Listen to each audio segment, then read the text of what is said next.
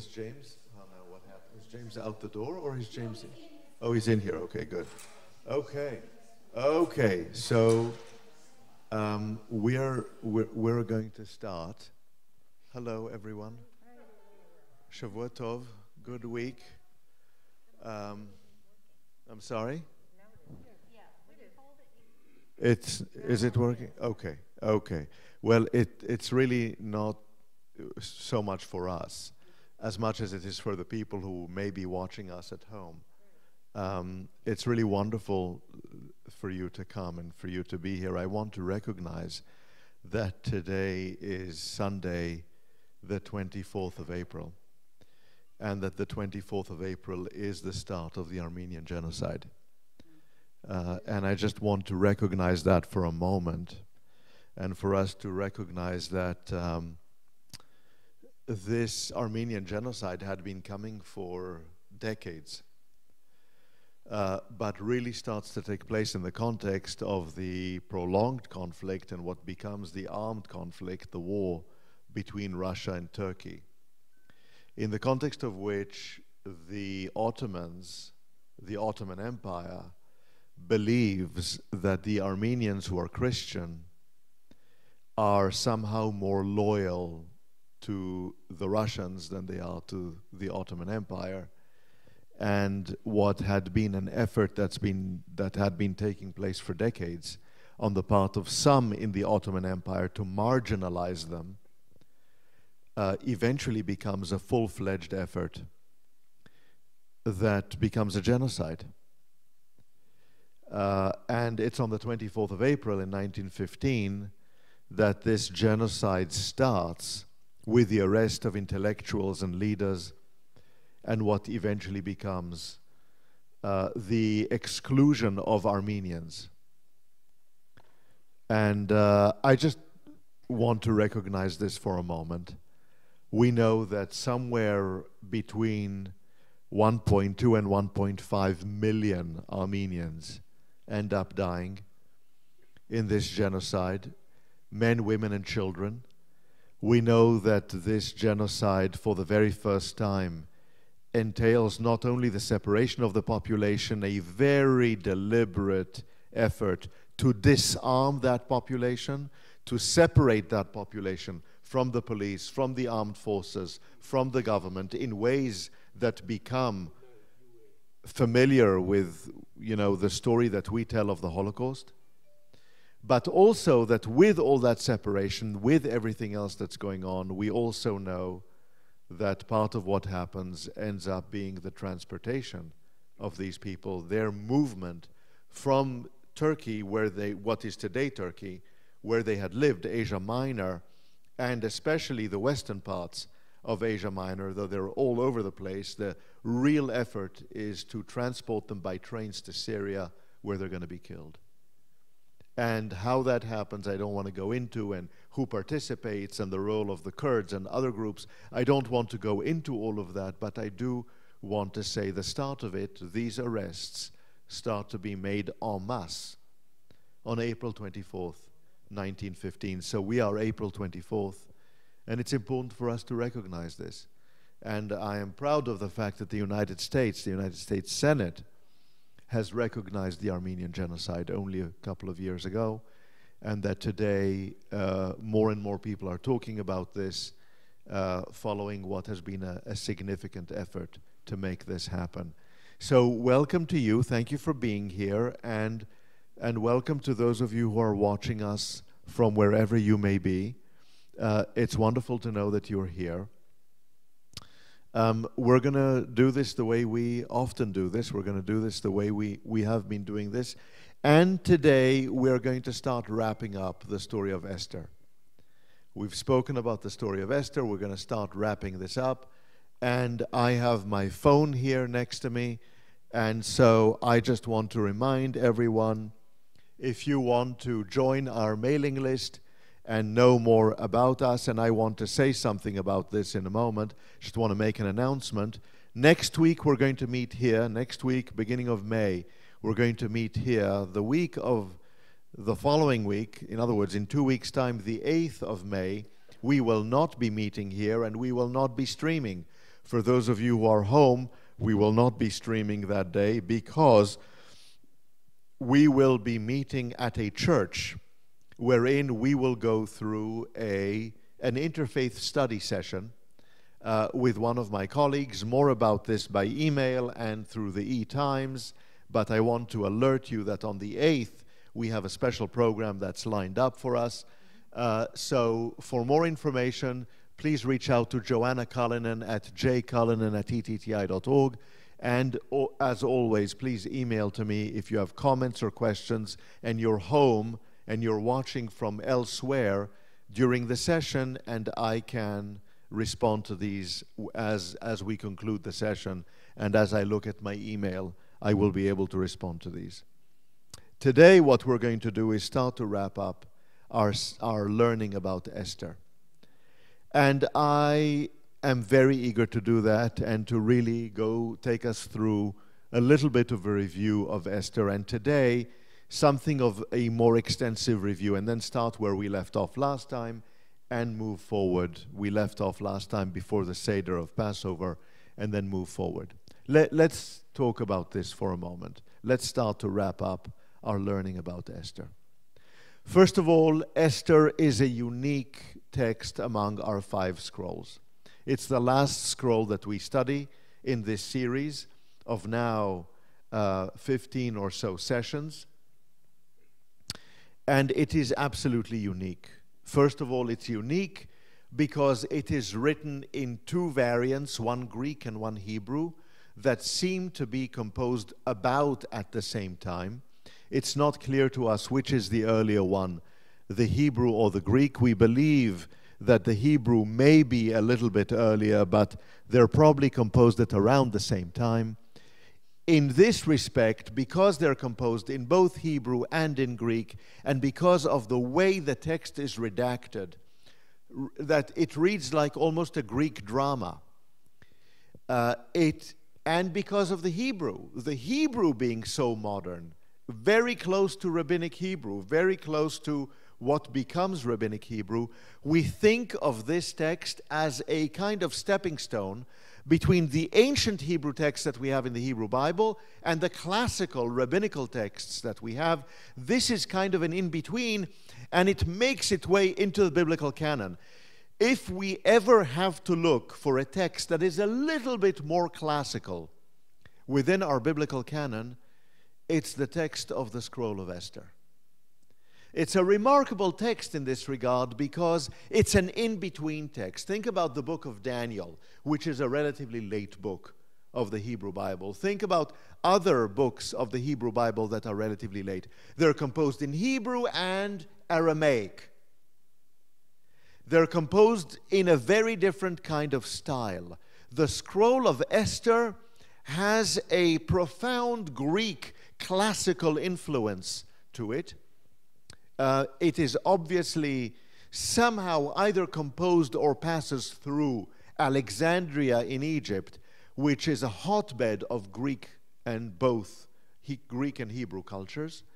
And it makes its way into our biblical canon and then becomes controversial within the biblical canon. In other words, in the spectrum that moves us towards classical texts, the scroll of Esther is right there, and it's part of our Hebrew Bible, which is remarkable. It's remarkable that it's made it into the canon, and it's remarkable that it is there in this style and in this kind of language, in a way that many other texts are not. Many of the other wisdom texts that we find from that period end up being external books to the Hebrew Bible and are not included in our Hebrew Bible. They are sometimes included in the Christian canon but that's a different story. So, first of all, it's kind of a classical text, very different text, very different style, very different language, an in between kind of text that finds its way into the Hebrew Bible. Third century before the Common Era. Quite remarkable. Then, as we looked into the Esther scroll, we have been discovering over these past three sessions that it is a political document. Now, I want to speak about this at some greater length today and to really think about what this means. What do we mean when we say a political text? Uh, every text is in one way or another political, right? Uh, what do we mean by a political? What's a non-political text? What's an apolitical text? What is a political text? What are we talking about here in terms of political as opposed to religious, as opposed to love, as opposed to, what what are we saying here? What is a political text? And I want to clarify this for a moment, and I also want to sharpen the point for a moment. What is this political text?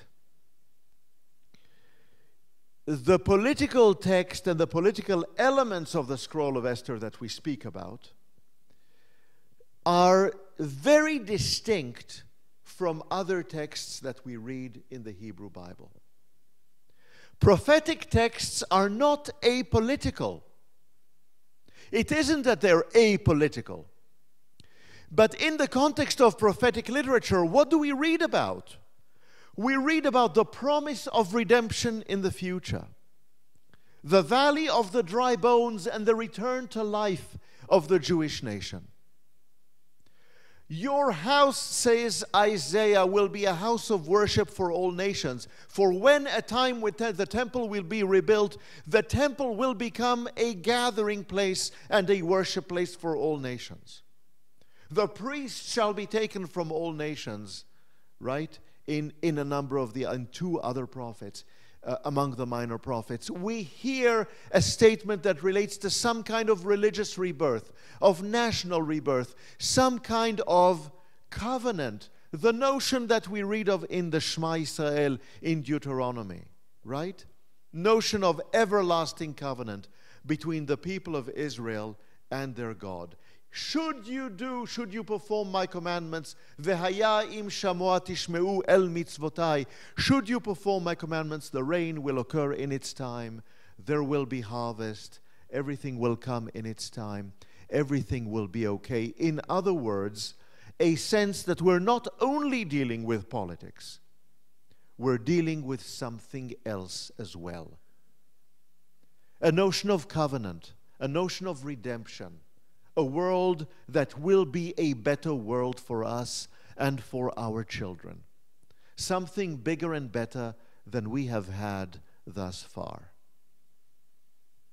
In Esther, no. None of that. The text of Esther is about power, power struggle. It is about power. It is about political machinations.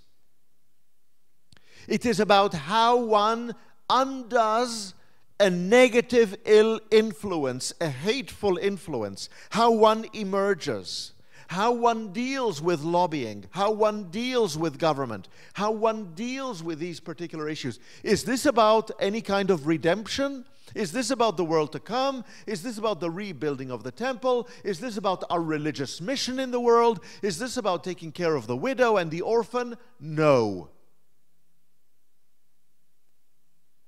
It's a text that deals with politics with a low p, a standard, regular p, as opposed to a capital P.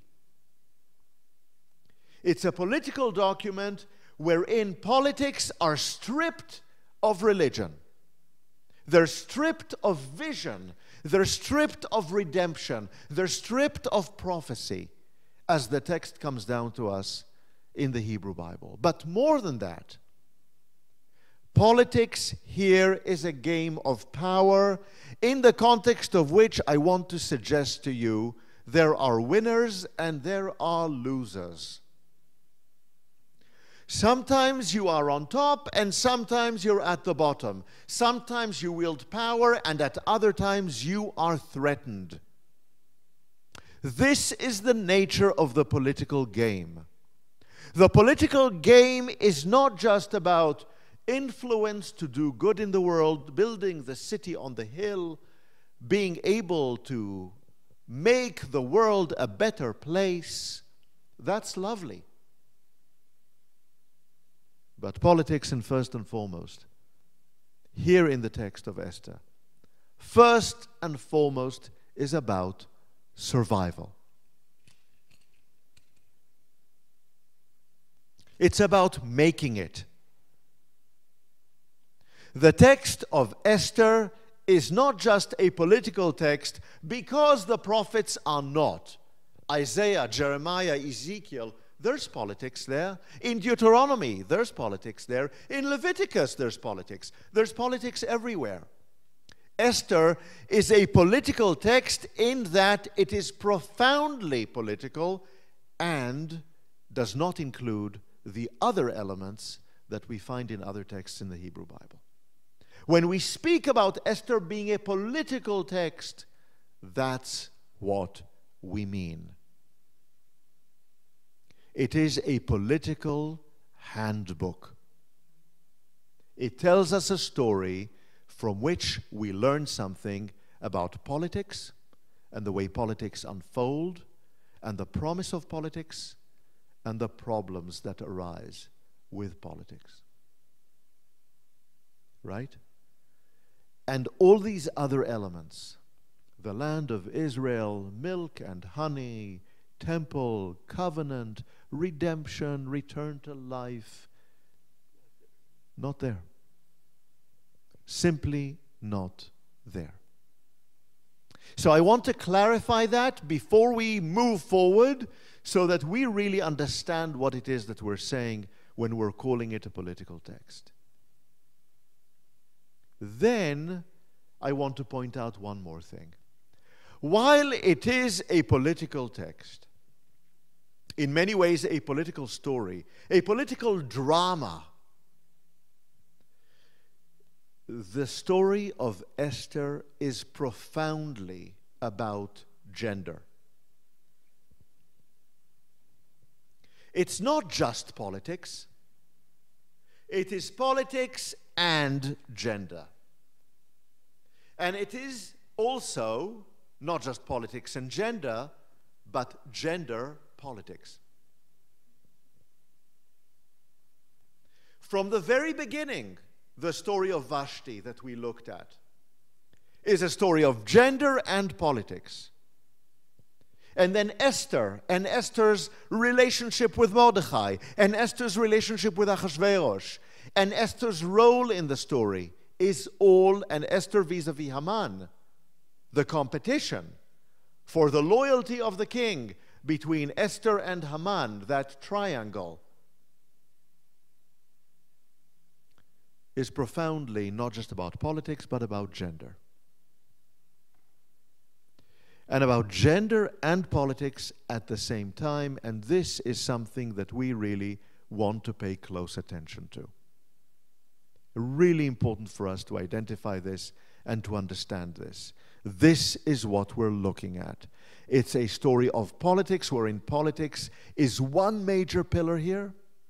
And by politics, I mean strict politics, zero sum politics, wherein we don't think about the world. We don't think about the well being of the great empire of Persia. Whose politics is this? Jewish politics. It's what's good for the Jews, the Hebrews, those Judeans who are in Persia. That's the political game here, right? It's we, the Jews, as a minority, as a diaspora community, right? We're going to talk about the story of Esther being a diaspora story, right? But it's politics and gender that are the two central organizing themes and pillars of the Esther story. And we've seen that. And by now, this should be a review. This should now not be new any longer. This should now be familiar. Does that, am I making sense? Eh, are we, uh, are, yes? Is this still okay? Good. Finally, the story of Esther is quintessentially a diaspora story. Now we're a minority. Now, this is no longer about us fighting a war against another enemy, about conquest of the land, and about other people wishing to conquer our land. It's not about our fighting for our independence. It's no longer about our creating an alliance with Egypt or with Assyria. It's no longer about the temple. It's no longer about Jewish polity as an independent being. Rather, it is about Jewish politics. Politics within a Jewish community, the organizing of a Jewish community, the lobbying for a Jewish community as a minority in another polity. Now, that is fine. Can we conceive of Jews as a minority, those Judeans as a minority within Persia? Yes. But here we're talking about a Jewish minority that also has the capacity to get armed, to fight for itself. Here we have the story, the notion of a Jewish minority that wants to be part of Persia, that wants to assimilate, that wants to have a seat in government, and that at the same time wants to remain autonomous wants to remain somewhat independent, wants to remain somewhat armed, wants to remain somewhat in power, and wants to retain its identity.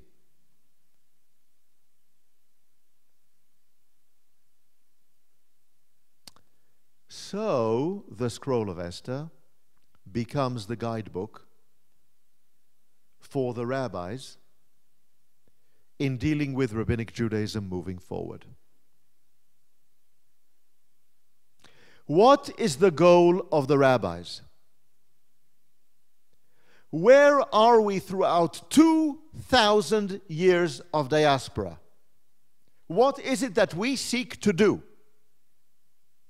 To maintain our independence, to maintain our identity, to maintain our communal institutions, to maintain our laws, to be able to tax our own people to be able to set our own social and educational priorities, to be able to regulate personal status for members of our own community. What I mean is marriage and divorce and the status of children.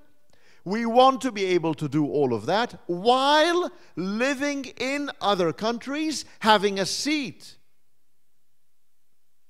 among the rulers of other countries, being able to influence governments in the country wherein we live, being autonomous on the one hand and in a position to influence on the other. Herein lies the tension of Jewish life throughout 2,000 years of diaspora.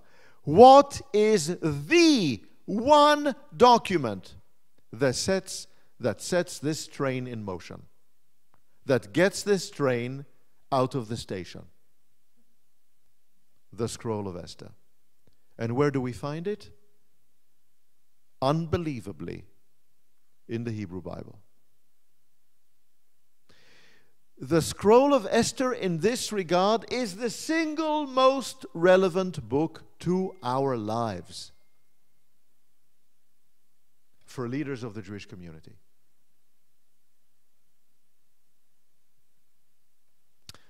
So, what we're looking at is not just another scroll. This is not about just another story. This is not just about a collection of love poems that used to be read in weddings that offer us a real insight into life in Judea at a particular set of times. This is different. We're dealing with different material here and a different kind of influence. And that's the reason for which, when it comes to the Protestant Reformation, the Protestants seize upon the scroll of Esther as one of their core texts. This is the reason for which the Jewish community turns Purim into one of its major moments. Uh, does this, am I making sense? Yeah? So now I really want to clarify this. I really want to sharpen the message today I hope this makes sense. And if there are questions, you know, we can talk about them. Okay? Good. So now I want to lead us here into where we left off last time. And you remember that we looked at this image before. This is the Jan Steen uh, uh, image from the Cleve Cleveland Museum of Art. I'm going to try another image and see whether we can see it of the same painting. Is this better? Okay. Let's talk about this image. This is from the Cleveland Museum of Art. Let's talk about this. I tried to really fidget with it and clean this up. Jan Steen is a 16th, uh, is, is, I'm sorry, a 17th century, a 17th century, 1600s Dutch artist. He's born in Leiden. Um, he is a Catholic throughout his life. And uh, he paints a number of paintings that are very significant. He's actually a pioneer in terms of his style. Uh, he paints with a lot of skepticism, a lot of humor in his paintings of a number of different scenes from classical literature and from the Hebrew Bible.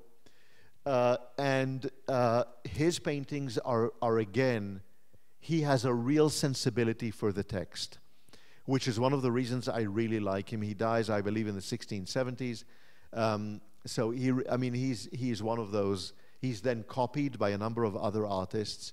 And we have this in the Cleveland Museum of Art.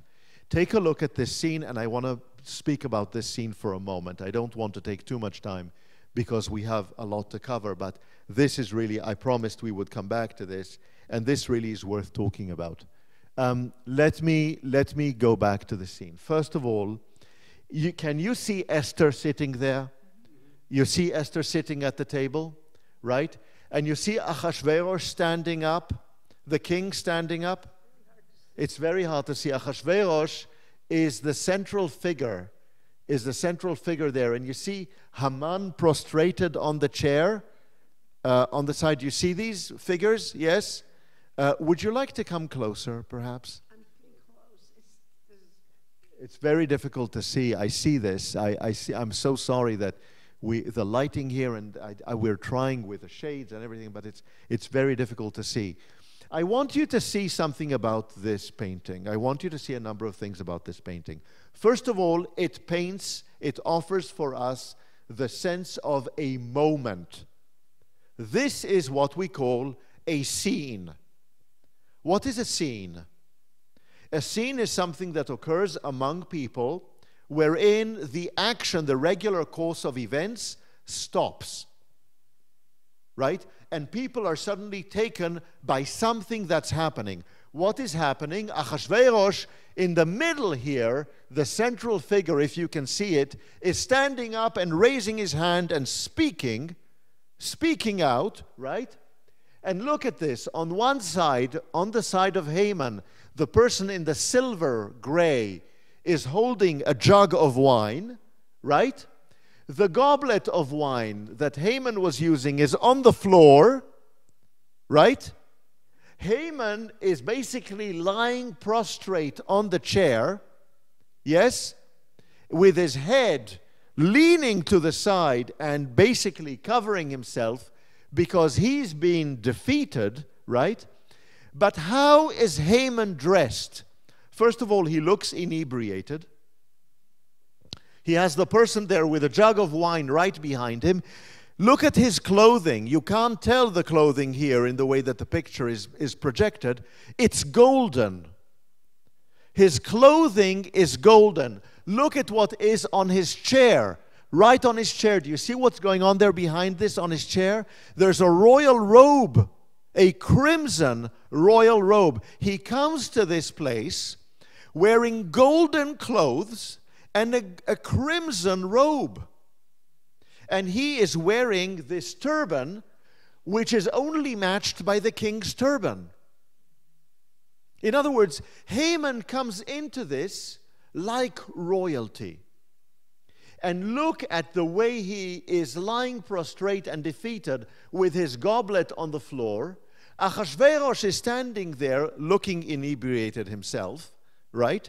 Standing there, not quite solid on his feet, right? And by the way, a little bit overweight. Uh, Ahasuerus needs a diet, right? Uh, standing there, holding his arm up And look at what is happening here behind Esther, who is fully composed, completely composed, is there at the table, speaking eloquently, right? And by the way, dressed in, shall we say, a way that uh, highlights her feminine features. Is that appropriate to say? I mean, right? Look at every other woman, the way other women are dressed there. No one is dressed like Esther. And where is the light showing?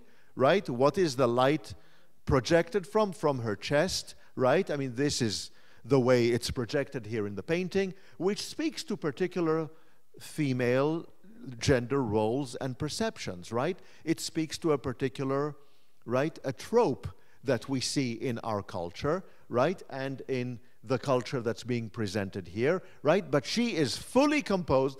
The one place that's fully composed, the king is standing up, raising his hand. Look at the person serving the, one be, the wine behind Haman. They're looking at the king. Everybody is looking at the servant who is behind Esther, who also has a jug of wine in her hand, is looking at the king.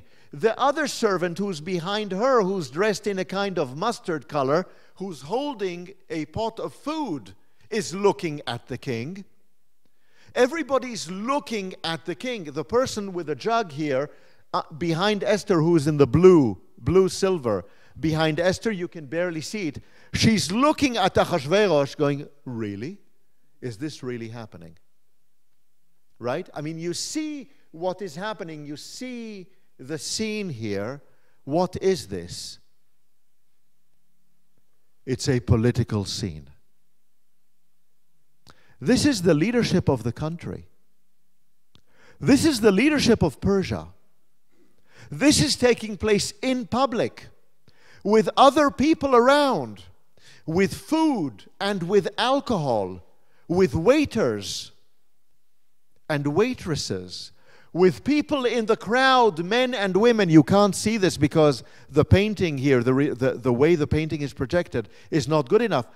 There is a black skinned person in the back here, right? To demonstrate how large Persia is. How many different courtiers are there from different nationalities, different places inside Persia. This is a political scene. By the way, when is this taking place? According to the text of the scroll of Esther, when did these uh, uh, feasts take place? At night, right? In the evenings. According to this painting, where is this taking place? Look, look at the sky.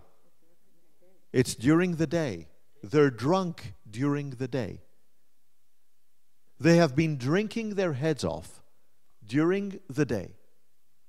And everybody's around, the courtiers are around, everybody's around, and Esther is defeating Haman with her composure, with her argument, in the middle of the day, with Haman drunk, his goblet on the floor, and Ahasuerus barely on his feet, getting angry. This is the scene. When we talk about Esther being a political document, he got it. This is what he's depicting. This is the depiction of a political scene, right? One day, I hope we're going to be able to make it to the Cleveland Museum of Art and look at some of the art that is relevant to our to our scrolls and to our scriptures. There's quite a bit in the Cleveland Museum of Art. I happen to love this stuff. And this painting is a painting that I, I think is just extraordinary. There is, a, there is a quality to that painting, and I look forward to one day seeing it with you in person in the Cleveland Museum of Art and really talking about this in detail. We don't have the time right now, but I wanted to return to it because we couldn't really speak of it in detail last time around. Jan Steen, middle of the 17th century Dutch, which happens to be in the Cleveland Museum of Art. Okay, all right. I think I've made my point, right? Um, we understand gender and politics and the power play and the food and the drink and the emotion and all of these things that we've already spoken about. So, What does this tell us? What does this teach us about the scroll of Esther and what it tells us about the world? About the world that we live in, the world that we inhabit. What does it tell us about the world? We have to talk about this. We absolutely have to talk about this. It's our last full session about the scroll of Esther. And I want to share this with you today. Some of it is difficult because it relates to our lives. But it's important for us to talk about. It's important for us to think about it. And we've started to address it. I want to share with you that one of the really important words that need to be understood in order for us to understand the Esther story is the word hafach in Hebrew. The HPCH, hafach, hap, hapach, hafach, right? That root in Hebrew, which means to diametrically overturn to revolutionize, to change from one to the other in no time. This notion of overturning, this notion of uncertainty, this notion of the possibility of things shifting dramatically is key to our understanding of the book of Esther, the scroll of Esther. And it is key to our understanding the world as it is understood in the scroll of Esther. And I want to talk about change and change in the world today as it relates to the scroll of Esther. Right? So, and I want to talk about it in the context not just of change, but of dramatic, big, significant change as it occurs in relation to the scroll of Esther. So let's take a look at change in that kind of way in the Hebrew Bible. And I'm only going to offer a few examples so that we really have the time to talk about the scroll of Esther. Uh, take a look at Leviticus. This is one of those things we never study because we are disgusted by it. We just read the Torah portion uh, within the last two weeks, a couple of weeks. We don't want to read this stuff. It's about leprosy, it's about skin diseases, right? We don't want to know, right? But let's take a look at it for one moment and see what this really means. What is the priest in the context of leprosy? The priest is the first responder. The priest is the medical professional who comes and evaluates leprosy. And what is the priest's major three roles to identify the medical condition, to identify the ritual condition, in other words, the religious status of the person based on the medical diagnosis, and therefore to identify what needs to be done with the person. Should the person be secluded, sent away from the encampment? Can the person stay? These are the three roles of the priest, right? The priest's world, the world of the Kohen, of the priest, is divided into two primary sets of conditions wherein we Jews, Judeans, Hebrews find ourselves. We are either pure or we are impure.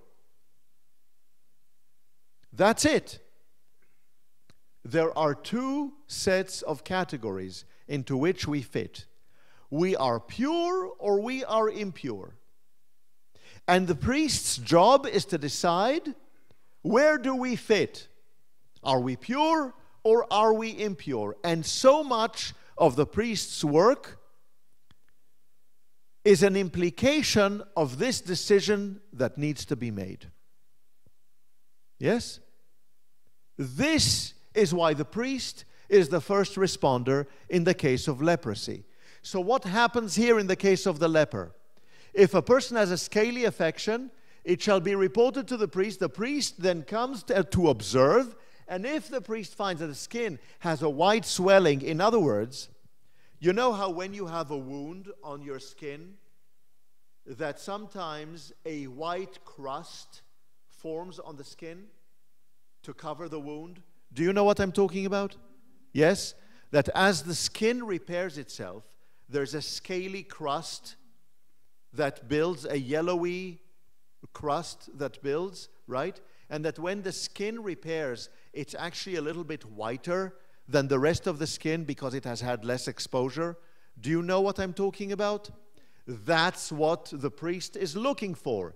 If that covering has turned white and has some white hair around it, yellowy white hair around it, which often happens, we know it too often happens, what is the implication? The implication is that this is a sign of an old wound, of an old, what might have been leprosy, if it's multiple wounds on the limbs, right? It's a sign of an old leprosy that the body is getting over, right? It's not leprosy in the way we understand it today. Leprosy is code for a skin disease that creates these kinds of wounds, right? And in that case, it's old. It's not active. It's not infectious right now. Yes? And if that's what the priest says, the priest pronounces the person impure. However, being impure, because they're not fully healed, being impure, the person doesn't need to be isolated, right? Yes? Do you understand? We see what's going on here. The priest is the person offering the diagnosis and the implications of the diagnosis. If there's a decision tree that's being designed here, if it's like this, then it's like this. Yes? Right? It's, it's really quite simple. Yes, Marie. Why isn't there a judgment on moral impurity? Why does it have to just be physical impurity? Well, here we're talking about physical impurity. There is no moral implication. The question is Is there a moral component to this? I'm rephrasing your question. Forgive me, Marie. Is there a moral implication to this? Here, absolutely not. There is no moral implication. It's plainly physical. It's all about the physical right? You can be pure, you can be impure, you're as good a person, you know, as you were yesterday. You're impure, but it, it's not about your soul, it's about your, your physical well being. Yes? Okay, that's the situation.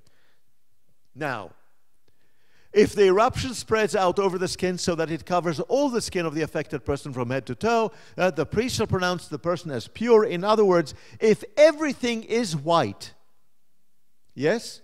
If everything is scaly and white, and if we do not see an open wound, an open skin, and bleeding, if we do not see the red of the flesh, right? We're okay. The person is pure, right? Because the leprosy has transformed itself from being red, from being an open wound, to being all white. The word turned in Hebrew is that hafach. In other words, we have turned from one status of impurity to purity because the wound has turned into white flesh. It's either black, it's either brown, red, or white. It's either impure or pure. Yes? Do you understand? This is the transformation. We're moving from one legal category to another, from one medical category to another. Do you see what's happening here? Yes? What the priest is doing? Here is, right? But if the colored flesh again turns white, it transforms itself, right? After, you know, the colored flesh has appeared, and then the person can become pure again. The moment that there is a wound, an open wound, that there's blood, that we see the red, that we see that happening, the person is impure. If the flesh has cleared and the skin has covered the flesh and the body has recovered, the person is pure. Am I making sense? Yes, do you see what's happening here in the book of Leviticus? We have transformed from one category to another, changed from impure to pure, from pure to impure. Yeah? Which for the priest and for us is a huge, it's huge. You have to quarantine, you don't have to quarantine.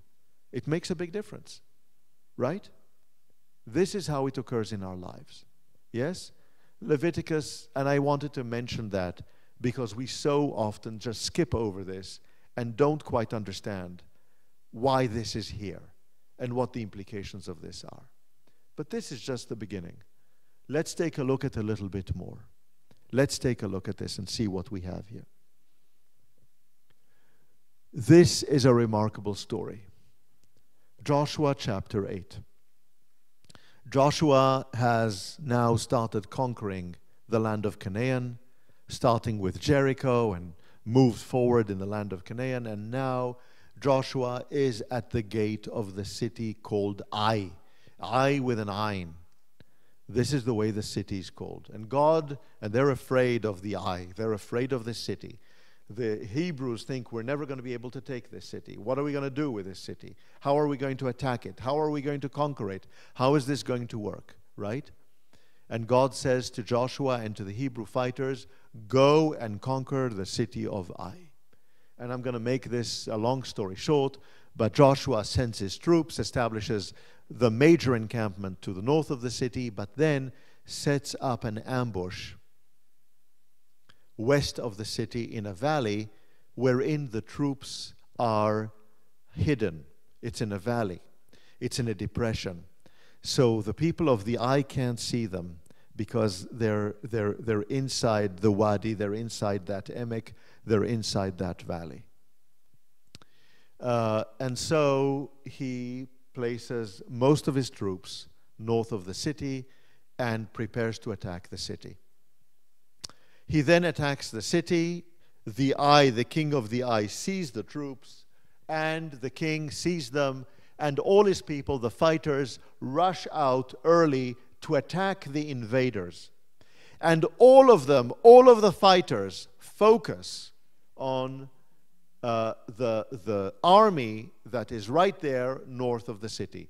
Joshua chapter 8, I don't know what page we're on, but if you want to open the books, that's fine. Otherwise, it's here on the screen. And Joshua and the troops flee into the desert. They run away from the king of the Ai and from his fighters. They flee and run away.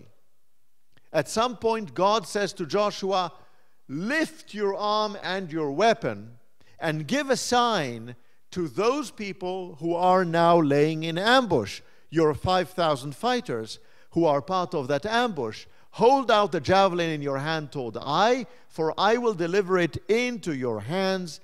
He does, and look at what happens here. Look at what happens immediately. The ambush comes rushing out into the Ai. The fighters are pursuing the Israelites who are fleeing into the desert, right? The Ai, the city, has been emptied of fighters. These 5,000 troops run into the city, they capture it, and they put it on fire. They set fire to it. Now the fighters from the Ai are looking back, seeing that their city is burning. Now they are enclosed between the Israelite fighters who have fled before them and the Israelite fighters who are in the Ai. There's 5,000 of them. They're in between, and this is how they're defeated. What does the Hebrew Bible tell us? Take a look at this verse, right? And we're in verse 20. The people who had been fleeing to the wilderness now turned into, transformed into, again that word, the pursuers. One moment you were fleeing for your life, now you're pursuing the enemy. This is that kind of diametrically opposed transformation we're talking about, right? It's not just about the skin and purity and impurity. It is about you. A moment ago, you were defeated. Now you're on the attack. Do you, yes? Does that, am I, yeah? Does that make sense? You understand the scene. You understand what happened here, right? This transformation. And who led the transformation? God, right? Who can do that? Who can engage in that change? God.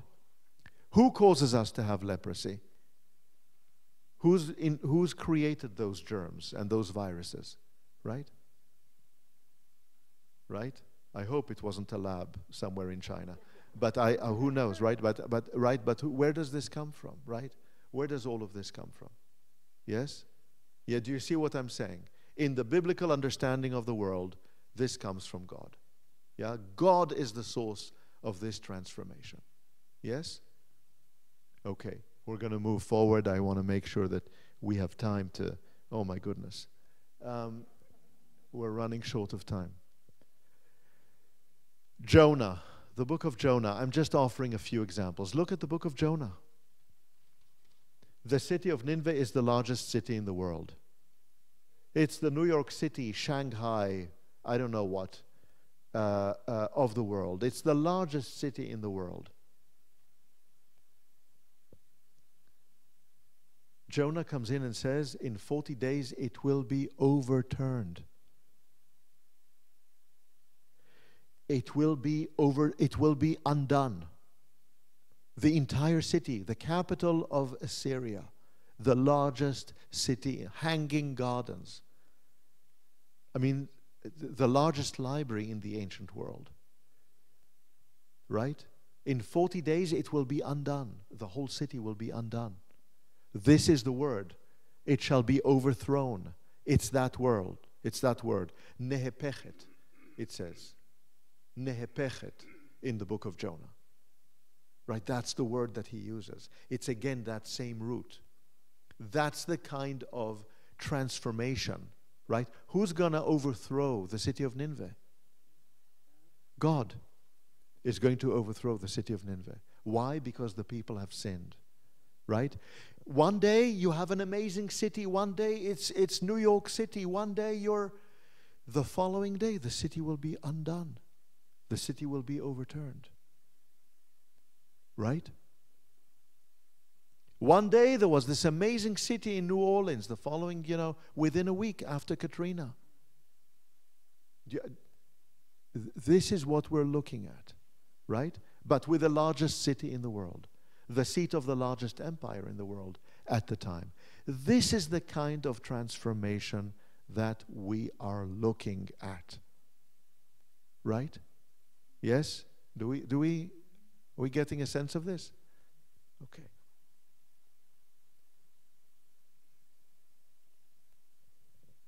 And now we come to the scroll of lamentations which is going to lead us into the next into the next session and hopefully our are moving discussions. Remember chapter 5 of the Scroll of Lamentations? Remember the defeat of Judah? Remember the destruction of the temple? Remember the exile? Remember the killing of all those people who were involved in government? Remember that all of those people were pursued and killed and exiled? Remember the exile of all the artisans, all the smiths, so that no one would be able to make weapons in Judah anymore. Remember all of that?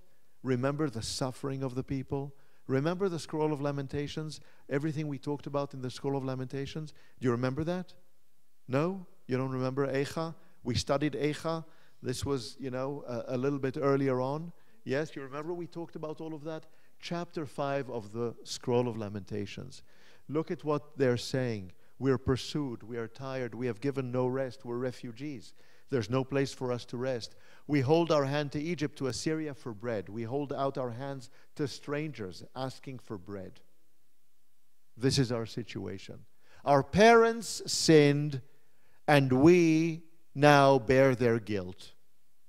Right? What's happened here? Why is this happening to us? We are being punished for the sins of past generations here in the book of Lamentations. Slaves rule over us with none to rescue us from them. They have ravished women in Zion, maidens in the towns of Judah. Princes have been hanged. No respect has been shown to the elders. Do you remember reading some of this? Is this familiar, right? Do you, do you see all of this, right? Yes? Um, and then where do we move from here? Like verses 13 to 15. Do you remember what we're looking at here? Take a look at this. Young men carry millstones and so on and so forth. Gone is the joy of our hearts.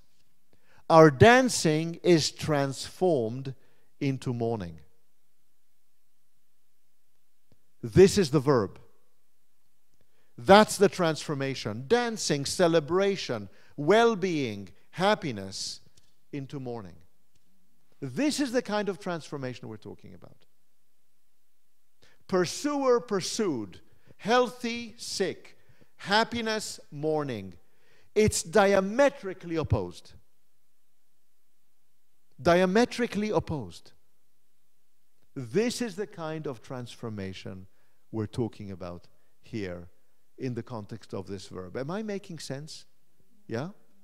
Yeah, does that help here for us to understand some of our biblical outlook, right? And who alone can bring about such a transformation? God. Right? How else can we explain this kind of transformation? What do you mean one day I'm healthy, one day I'm sick? What do you mean one day I'm independent, the other day I'm enslaved? What do you mean I'm running away and the, mo- the second moment I, I'm, I'm, I'm, I'm, I'm conquering a city? How, it, how does one make sense of this? How does one even process these kinds of changes? The only answer can be God, right? Until we arrive at the scroll of Esther. Because the scroll of Esther is a political document. It's a political drama. It's the way we live in the world, and it tells us something about the world. So now, chapter 9 of the scroll of Esther. What page is chapter 9 of the scroll of Esther?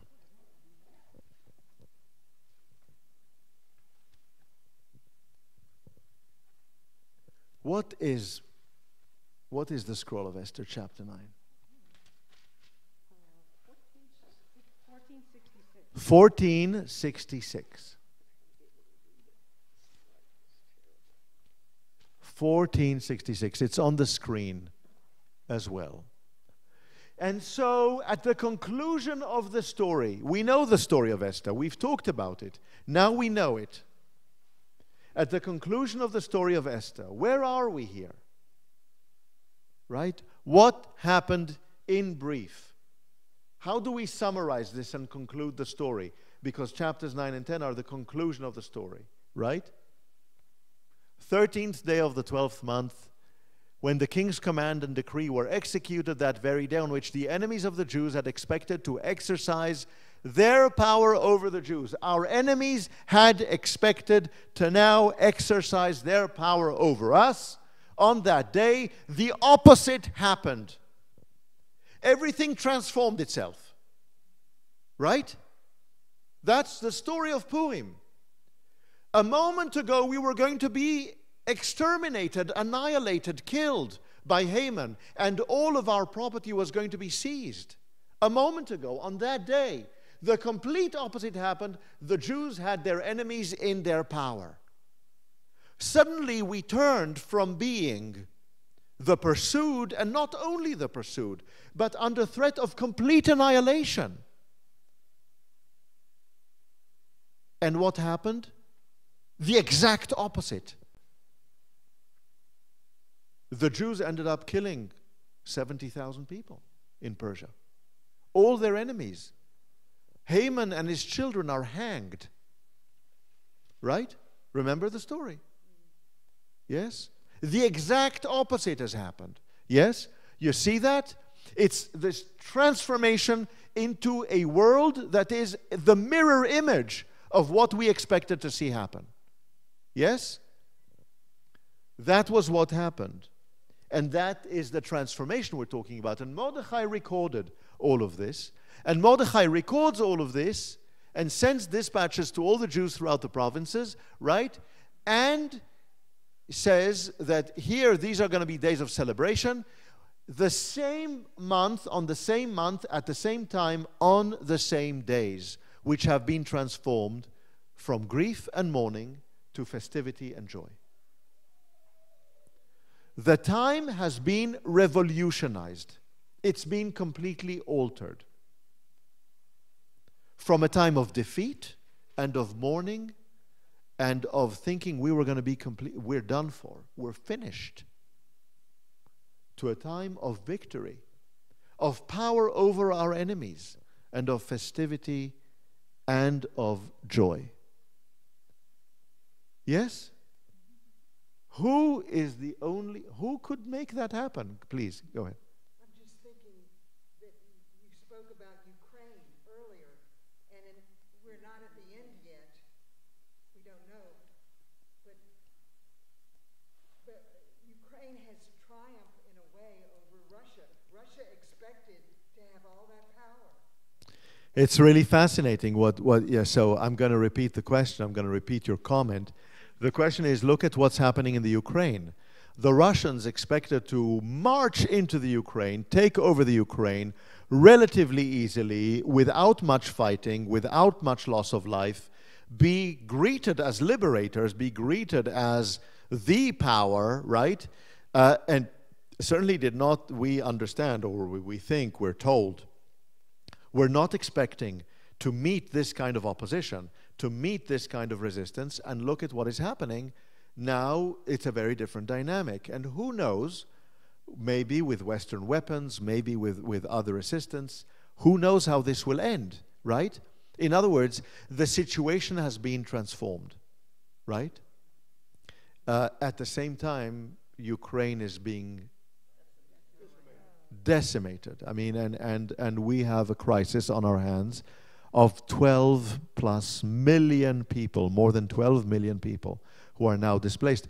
Think about this for a moment. Out of a country of 44 million people, approximately, right? There are 12 million, more than 12 million people are displaced. 12 million within the country, 7 million within the country, and 5 million refugees who have left the country, more than 5 million now. I mean, Poland is now saying they're at capacity, they cannot take any more refugees. Other places are, I mean, the, the, we're looking at over 50 days, 50, 60 days. It's been only oh, just about two months. Look at what's happened. Look at what's happened here, right?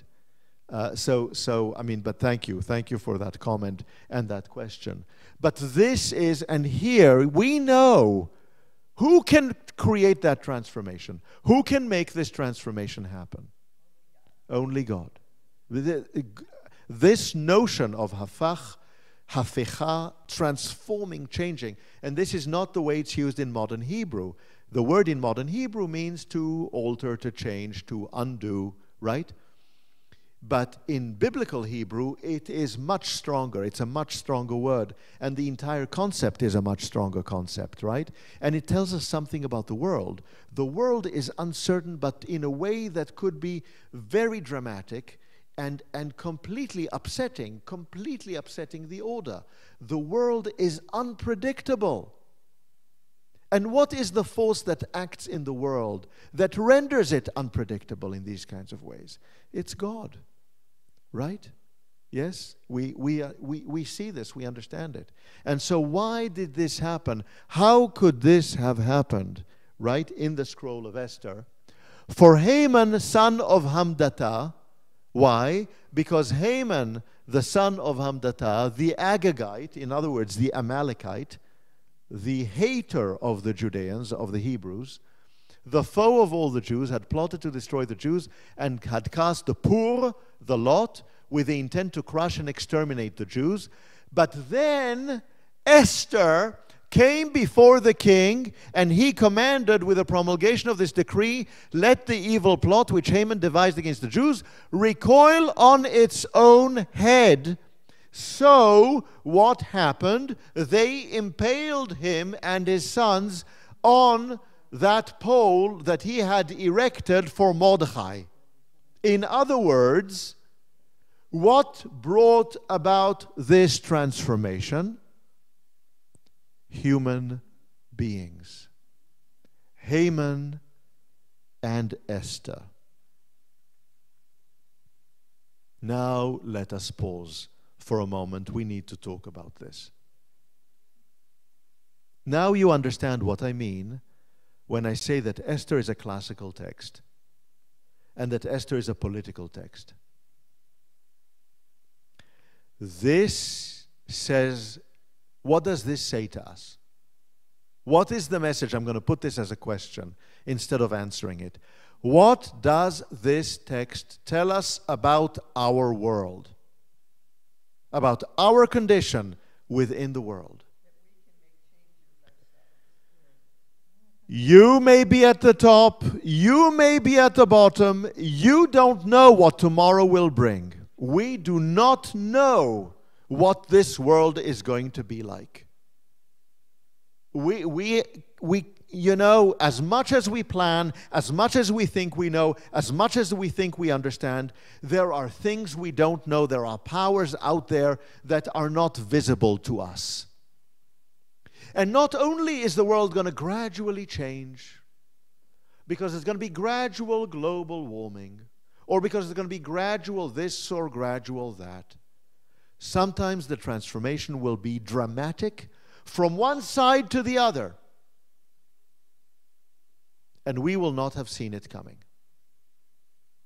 It will be oppositional, diametrical change. 1933, Germany is a democracy. April 1933, no democracy, finished. How long did it take? 90 days, from January to April of 1933.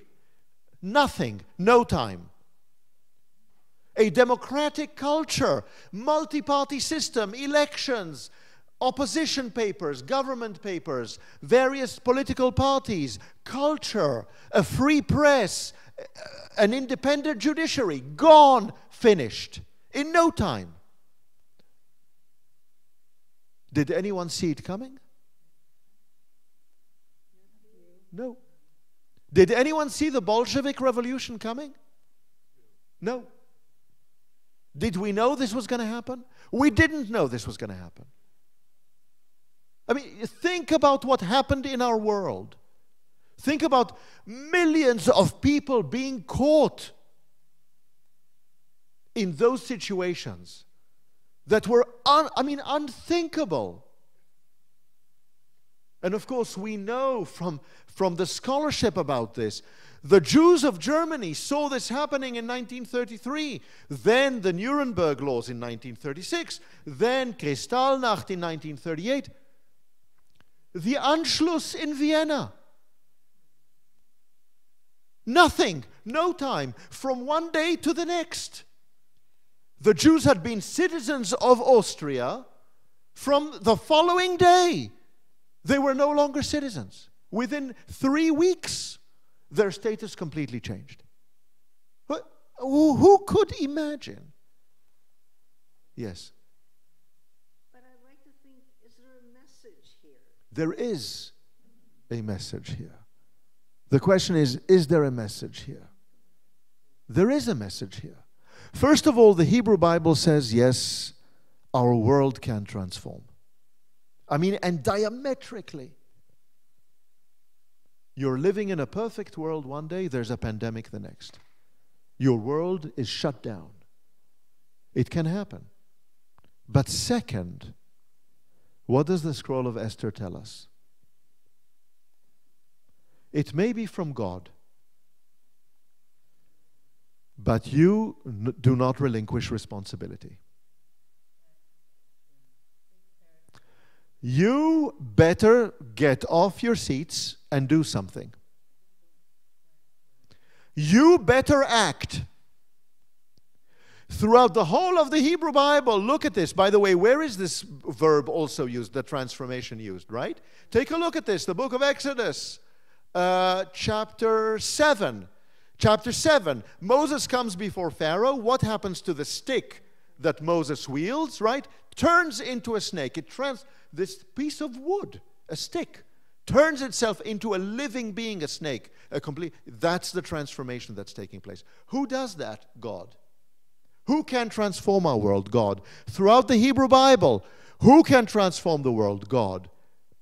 Whom do we reach out to when the world is transformed? God. What happens in the scroll of Esther?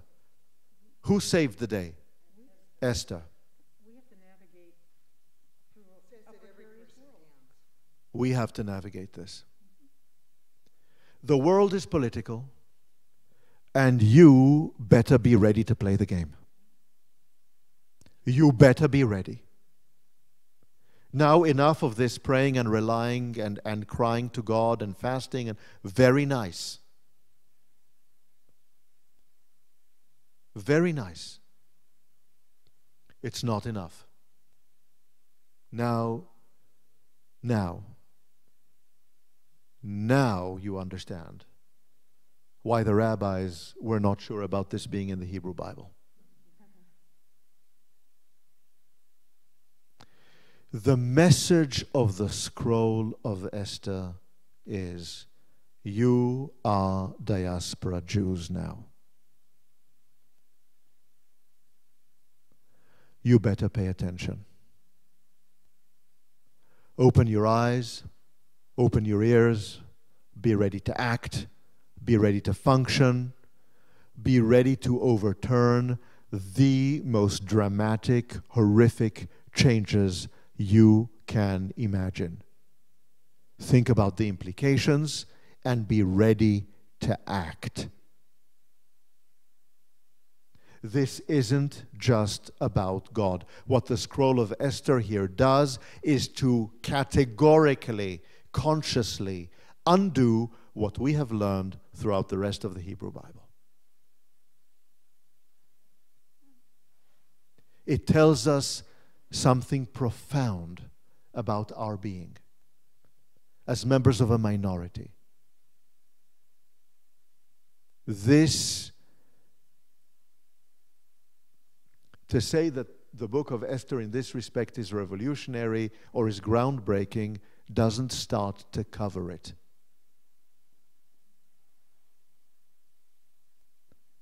It teaches us the world is harsh. The world is difficult. The world is unpredictable. The world is dangerous. And we better be ready. And if we're not ready, we're not going to get to celebrate. But if we are successful,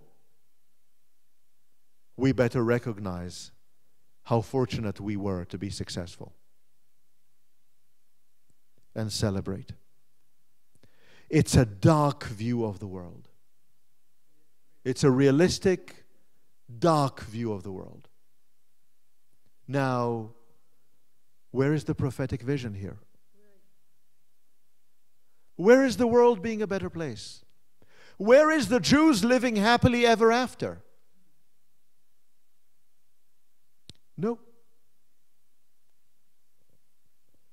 No. During the days of Mordechai and Esther, while he was prime minister and she was the queen, everything was fine. The Jews had it fine.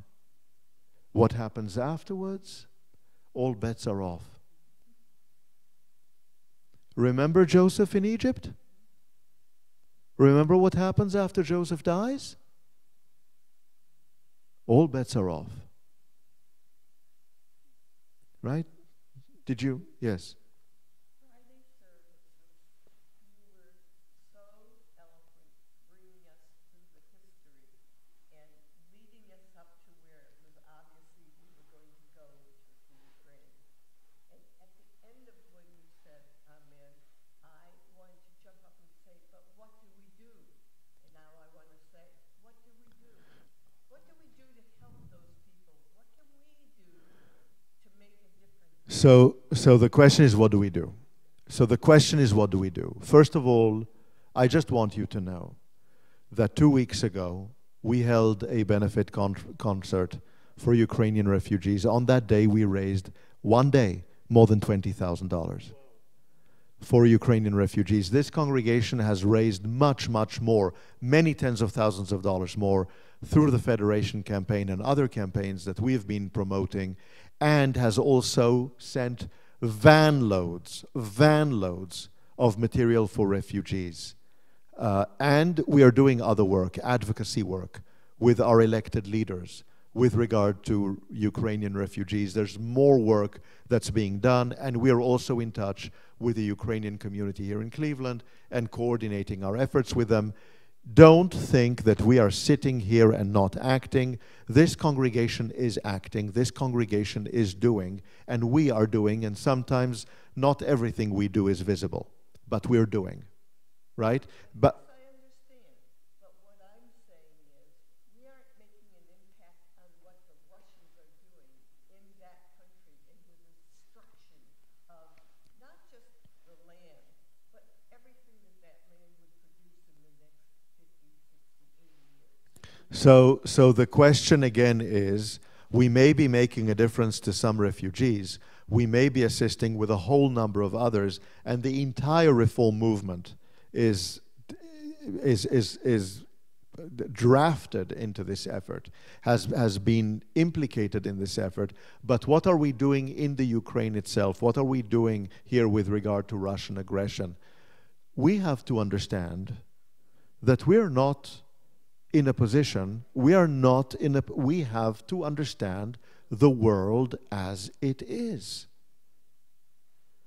Your rabbi cannot stop the Russian invasion of the Ukraine. In fact, the President of the United States of America cannot stop, it appears, the Russian invasion of the Ukraine. The leadership of NATO cannot stop the Russian invasion of the Ukraine.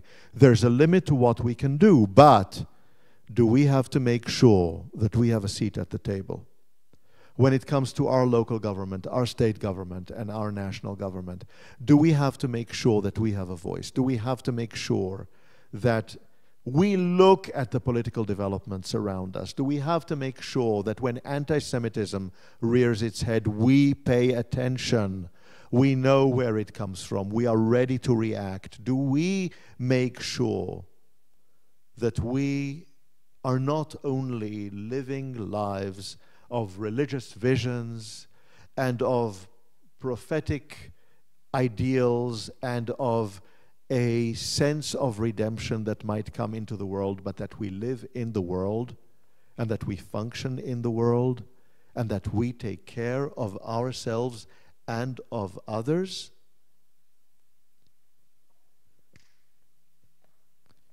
We have to. We have to. But aren't people's ideas, I mean, is there some real organization there? People's ideas are so fragmented and they're often so, one is for and the other is anti and then they let the whole thing go. Is there some central movement in that direction? I think, and that's a really interesting question. The que- I'm going to repeat the question again. The question is what happens when there's debate, discussion, and disagreement about the direction? Right. Well, which is true, and it does happen, and we do have quite a bit of it. But with regard to anti Semitism, with regard to Holocaust denial, with regard to what is happening in the Ukraine, I don't know of disagreement. When it comes to those issues that truly threaten us, that truly threaten our well being, I don't know of significant disagreements. And here we do have to be ready to act. I, I want to say, um, I do not see um, many, um, I do not see a question or a comment that's arrived to me online. Uh, it is 1220. I have kept you here uh, now five minutes longer, four, four and a half minutes longer than I was supposed to. We were supposed to end at, at 12.15. I wanted to share this with you because I did not feel comfortable letting us study the scroll of Esther and not reaching this point. This is so important for us to see. The text of the scroll of Esther, in this respect, is transformative. It is transformative of who we are. And I have to tell you, uh, there is, in this regard, no other text like it in the whole of the Hebrew Bible. So, next week, we're going to talk about the corpus of the five scrolls and how we read them together and how we compare them and what these scrolls really mean to us as a corpus. Um, and we're going to talk about our lives and what we make of these scrolls in our lives. And the following week, we're going to meet in a church, and more information is going to be forthcoming. And I'm really delighted that we're going to be able to have an opportunity to engage in study and worship with uh, with with non-Jewish colleagues as well uh, on these kinds of subjects. Um, thank you. Just thank you for joining us.